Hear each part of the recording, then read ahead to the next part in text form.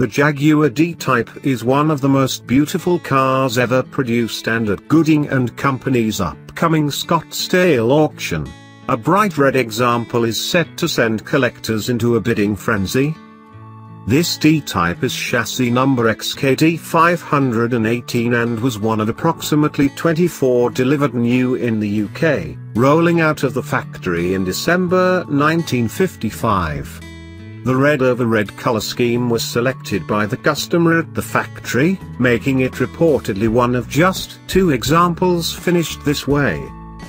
The car was originally delivered to Jaguar Rover dealership Henlys but they struggled to sell it and eventually handed over the keys to ex-Formula One Suprema Bernie Ecclestone. Not long after, it was given as a gift to 21-year-old Peter Blond from his father as a reward for not drinking or smoking.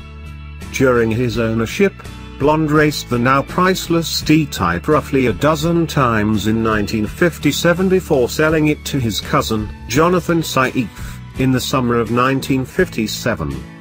In the ensuing years, the race car passed through the hands of numerous owners and continued to compete in races throughout the UK. The auction house expects the car to sell for between $10 million and $12 million.